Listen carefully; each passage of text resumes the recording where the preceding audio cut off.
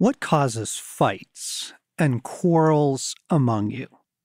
Don't they come from your desires that battle within you? You want something, but don't get it. You kill and covet, but you cannot have what you want. You quarrel and fight. Not a charming beginning to a podcast, but appropriate to our topic today, I thought on marital conflict. Welcome back to the Ransomed Heart podcast. John Eldredge here, reading out of the book of James, chapter 4, just to set up what I think will be uh, a helpful, playful, honest uh, conversation about marital conflict. And with me today, my beloved Stasi and Allen and Kellye Arnold. Welcome to the studio, Kellye. I think this is your first time with us. Thank you. Great to be here. Yeah, thanks for coming in and and uh, we just we were we were praying about you know what's a good topic that we feel like would be helpful. And Allen, you were the one who suggested. I, I think folks would like to hear some conversation around marital conflict. Right. Well, a lot of the people listening now have come up and said, "We'd love to hear about this because it's a real struggle. It's something we know there's victory in and freedom in, but." We just don't hear many people talk about it on a deep, honest level who are living through it. So thanks to those people for recommending it. Yeah. Allen and Kellye, just for some orientation, how long have you all been married? We are celebrating 20 years this November. Nice. Nice. And you have four kids? We have three. You have three. yes. But we have a dog yeah. too. four with our dog. That's right. It just seems like four yeah, to me. Sometimes it does. Yeah, sometimes it yeah. does. Yeah, we've got uh, a 16 year old son, 14 year old daughter, and then 11 year old son. Okay. So and an eight year old dog. And you guys are in the throes of the teenage years. Oh, man. Oh, no kidding. Goodness. Big time. And we are celebrating our 33rd Let's see how well you do with this. No, no, no. 34th, 34th. no, Let's have some marital conflict. I just Here we go. quickly did the math in my head. It's already 2017. How did that happen? I don't know. That was unfair. Somebody switched the calendar yes. on me. Stace and I were married in 83. So this will wow. be 34 this year. Mm-hmm. And as you guys think back, let, let's go back to the early years. Let's go back to early, you know, first couple years of marriage, sorting things out what was the culture of conflict? How, how how did how did you handle it? You know, where did it come in? What was what was kind of the vibe in in the early days? Well, I think we didn't. The problem was we didn't really have a culture, and so it felt like everything uh, it, it went into chaos quickly. And partially from from my growing up, I never heard my parents have an argument ever. Never once. So never once. And so I, I really, as a child, the expectation was, well, there is no argument. Now they didn't really seem to be deeply in love, but there was no conflict. Wow. And then one day we got called, this was when I was in middle school, called into the family room, and my mom announced, uh, We're getting a divorce, and your dad's leaving the house. And that was it. And so for me, it created this dual tension of, well, a marriage is not supposed to have conflict. There's no arguing, or it's a, a really bad sign. But even then, even when there's no arguing, it can just end immediately. Mm, wow. And so that was my baggage, my background entering into marriage. What about for you, Kellye, coming in? Mm. My parents also divorced when I was nine years old. And um, coming into marriage, Allen and I both were, were and still are very strong people. We're strong, opinionated people. We're both firstborns in every sense of the word. Oh boy. And so you can see where I'm going. And so the first couple of years are a little blissful. You're married and you're in love. We had moved to a new city outside of the, the state where all of our family were. And chaos did quickly ensue. I remember knockdown drag outs.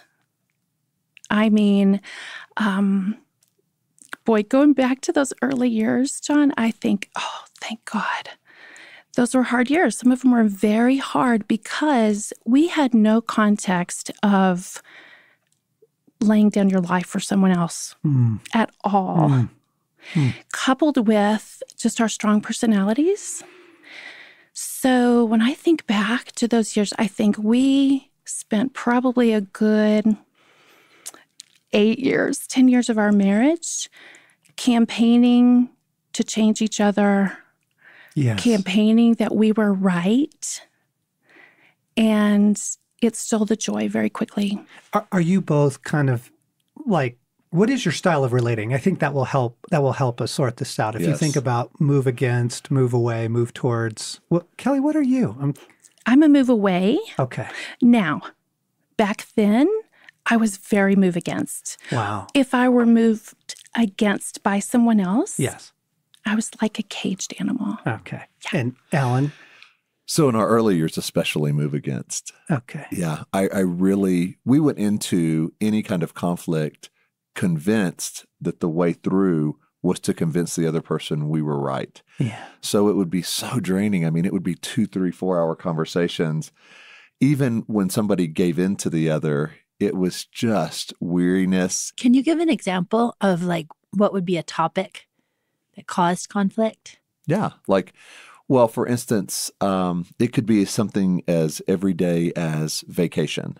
Sure. So summer's coming up. And Kellye really has an idea of what she'd like to do. This is pre kids, kids. I- I would have an opinion of what I wanted to do. We grew up very different in our likes and dislikes on that. And so, what was should be a very fun, life giving conversation where do we want to spend our summer? What do we want to do? Would quickly result in me saying, Well, no, no, no, we did it your way last year. And so this year, this brings me life. Well, that doesn't really bring me life. Well, you know, and so it would, by the end, no matter who won, we both lost Mm. because it was just, Yeah. yeah, Staking out your claim. right. We we had a little bit of a different culture of conflict in our early years. Han, how would you describe it? Conflict was not allowed. Conflict meant the bottom was dropping out of my world. Um, I grew up in a family where there was conflict, where my father, uh, he's had bipolar, and um, so he would rage, and you wouldn't really know what it was that was going to set him off. He was he traveled a lot, so maybe that was a good thing. I don't know, but he could sway one way or the other, and to me, it just made me sick to my stomach. So it was not directed at me, but it, it just killed me. And then, and that was usually directed at another sibling.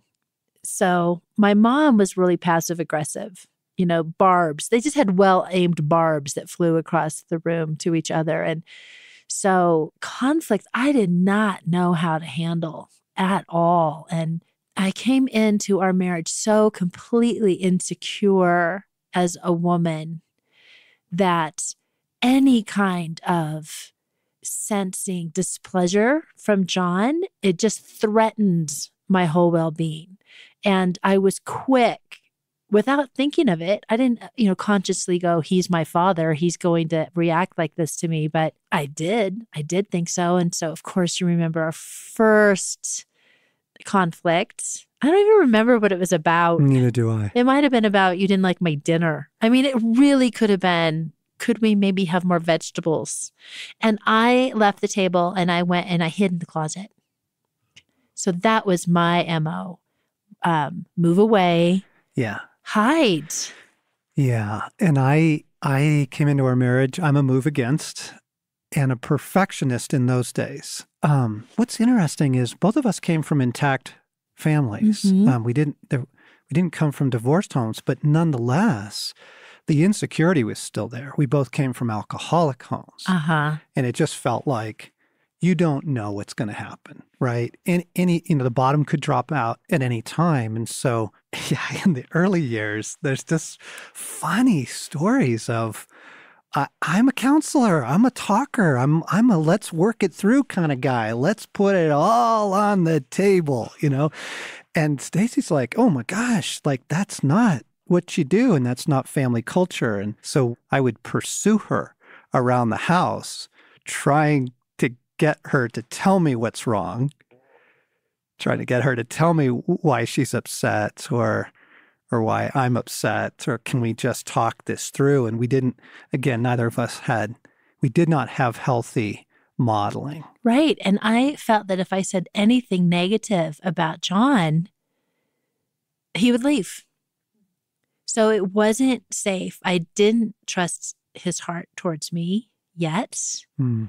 Um, so it was incredibly threatening. And I would just feel sick to my stomach if anything ever came up. And the irony is this like, neither of us would have said we came from like super healthy backgrounds but but the number one source of conflict for us in our early early years of marriage was family. Right. it was e- either of the other's family and they're doing it wrong. And i remember like we would not get out of the cul-de-sac that stasi's mom lived on and you know from a family gathering before we would be into it. Because because as a counselor guy, I would point out Oh boy. what I thought Oh, was boy. very Right. helpful observations about the family dynamics that we just walked out of, you know? which made me utterly defensive over my family and um, did not know how to talk about that. Yeah. I, I couldn't even recognize it at that point in our marriage either. Yeah. And I think um, just to continue the story on, and, and I want to I want to come back to yours. Is I think the first big turn for us came. Craig and Lori um, were sort of mentors to us, and they invited us to a Larry Crabb and Dan Allender conference, and just to begin to hear, it was our first shared marital experience Yes. to begin to hear some categories laid out of like, here's where anger comes from, here's where conflict comes from. Do you understand what is operating within you? And, you know, one of their core models at the time was manipulation. It's like how you manipulate people in order to get what you want. And just to have some tools, Yes. just to have even a shared language. I think that that was a big gift to us to just have some, okay, here's some words we can use, here's some language that we can begin to apply to what felt like, frankly, a pretty fragile situation. Mhm. Was it our third year that Mhm. that divorce came up Mhm. in our marriage? You know, because things were fragile and and we needed some language, we needed some some categories that we could begin to talk about things. So when you say divorce came up in your third year, the two of you just felt like this is not going to work or we're too different or how did that topic get spoken or come up? It actually came up for me pretty casually. Spiritual warfare also is not a category that we understood. So we didn't know what was said against our marriage or between us, like what wasn't even real. Yes. Um, but I felt at that point, and it's actually true, we were living separate lives. And so it was at the breakfast table, and I just kind of like passed the jam, and maybe we should get a divorce. So pretty, I was pretty desperate. It wasn't a screaming match. I didn't. Mhm. That's not who I am. That's not who I am still. Mhm. Um, but desperate and hopeless Mhm. at that point. Yeah. And then enter the conference, enter some counseling. Yes. And and we'll get into that in a minute. But just having somebody name a few things, you know, did you understand that your anger is often the result of your spouse blocking a goal of yours? And and maybe this isn't about your spouse, maybe it's actually about your goal. Right. you know, that you're Huge. you have an agenda and you want things to go a certain way. And when they block your goal, even if your goal is no conflict, Right. Um, just to have somebody begin to give us some basic here's some language, here's a common understanding that you can begin to talk about these things from was really, really huge for us. So I want to flip back to your story. You guys are kind of rough and and you had some knockdown dragouts. Like where did some clarity begin to come in? Well, just kind of take you where we were before the clarity. We're in Dallas. As soon as we got married, we left Dallas, had the honeymoon in Hawaii, and ended up in Nashville the next day. Wow. So whole new life. Oh my goodness. Whole new beginning. Oh my goodness. which in some ways was really good because Uh-huh. we were going to start making couples friends and start life together in a fresh place.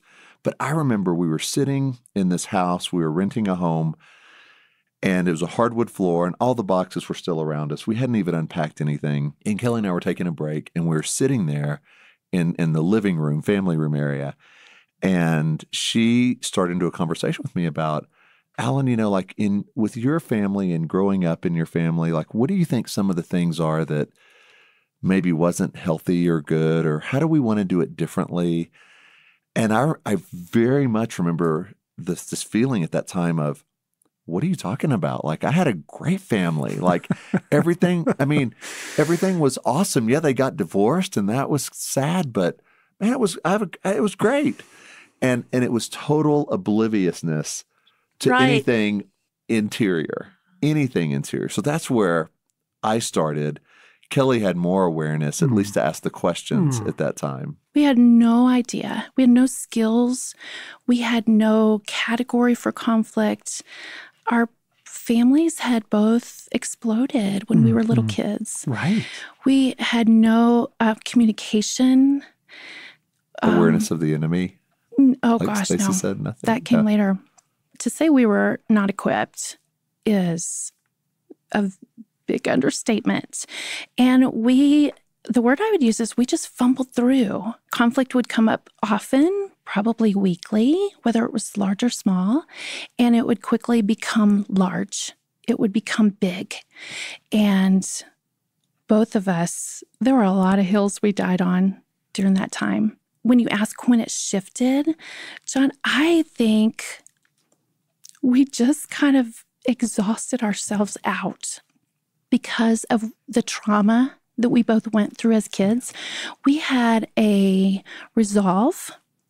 I don't I don't remember ever considering divorce, which is God's grace through the trauma, I guess. So I never doubted that we would still be married here 20 years later, but I think I doubted if we would have any joy Mm, you know, I think during those years, yeah. the doubt was we'll probably just be one of those couples that are married on paper and we live together, but our hearts are so far from each other. Mm. And I think we both came from that background. And so we had the resolve to stay. But boy, that resolve went to wanting to be right. We're not leaving, we're here, but boy, we have no idea what to do. We were married in 97. And so around the year 2000, 2001, that's when we came across John, your books for the first time. And uh, I- worked at Thomas Nelson. And so Sacred Romance had been out. Uh, and I had it on my shelf because we had a copy of every book that was published. And I thought it was a marriage book.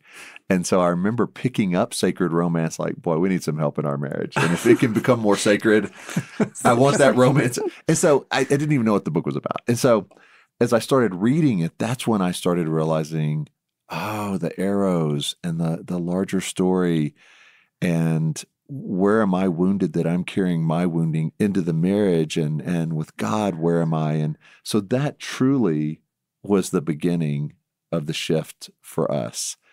And we had a language all of a sudden, and we could look back at our own lives Mm. without blame and without shame, but to go, this is the environment we were raised in. This is how we thought conflict was resolved. Just may the stronger person win Mm. or or bail out. But either way, we weren't we didn't even understand the heart.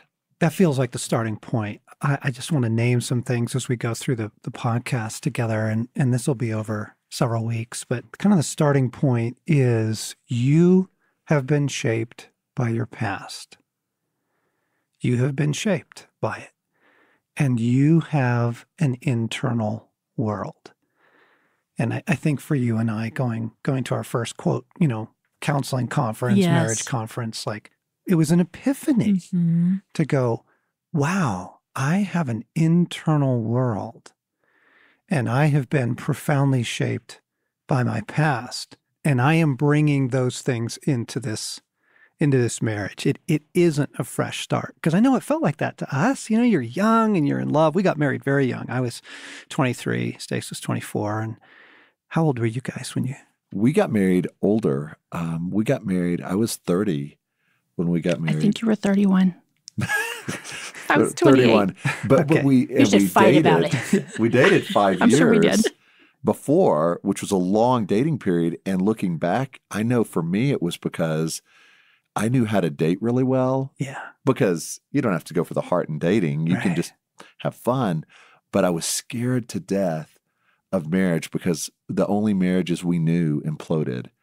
So we married later and had Yeah. to start those issues then. Yeah. I wanted to go back to where you said we went to this conference and we began to have categories to think in and to look at wait, I'm coming in here with a story.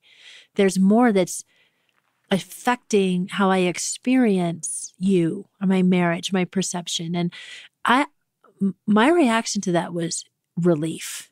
Hmm. It was really Mhm. so much relief that um that there were reasons, that there was a path, that there was hope to not like this isn't a sentence on my life. Yes. There is God has growth for me. Yes. Yeah. To- To to admit brokenness Yes. in in both ways. To you know, I am a broken person, but I'm also relating brokenly. Like to own both sides. You know, it's and that was one of the things that I appreciated about the early Crabb Allender model was this isn't just about your wounds. It's also about your sin, folks. And, and then some of you need to hear this isn't just about your sin. This is actually also about your woundedness, you know, and to bring those two things together, to give us some categories, to give us some language. Wow, I have an internal world and it's affecting the way we relate. Th- This isn't just about, you know, because for us, it would be the, the early things would be money and family. And like you, where are we spending our our you know our vacation time or weekends and you know it'd be the basic stuff Yeah, and I think that the wounded part in me was that you saw me shrink because out of my fear mm-hmm. to to lose you or be threatened by anything that you saw the woman that you loved and courted and married shrink back into this where did you go? Mhm. So that was that was a deal too. yeah it was I think I'm going to pause the conversation here and just say, folks, I, I hope you're tracking with us. I think we're opening up some categories for you. I think single, married, separated, divorced, I think you're you're tracking with us on, on some of these things. And so we're going to pause here. You've been listening to the Ransomed Heart podcast with Allen and Kellye Arnold, John and Stasi Eldredge. And we're just going to pick this right up next time. Hope you'll be with us.